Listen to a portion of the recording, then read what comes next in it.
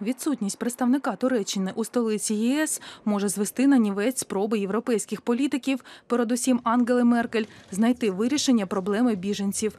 Для німецької канцлерки це удар, адже головна ідея Меркель не закривати кордони всередині шенгенської зони, а знайти вирішення за допомогою Туреччини і за рахунок зміцнення кордонів співдружності. Проблема з погодженням якої попереду ще багато роботи це гарантування безпеки зовнішніх кордонів єс. Що ж до розподілу біженців по країнах ЄС, Меркель надалі працюватиме і наполягатиме на своїй стратегії. Вода камінь точить.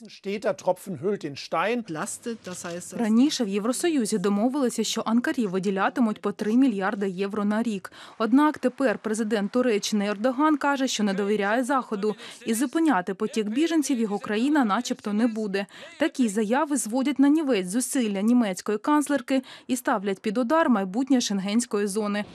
Раніше країни Вишеградської четвірки Польща, Чехія, Словаччина і Угорщина виступили за перекриття кордонів Македонії, Болгарії з Грецією, тобто Балканського шляху, яким прибула до Європи переважна частина біженців. Австрія і Швеція оголосили про запровадження прикордонного контролю, а Франція повідомила, що відмовляється приймати велику кількість мігрантів. Враховуючи це, експерти не очікують суттєвого прогресу у вирішенні міграційної кризи на поточному саміті.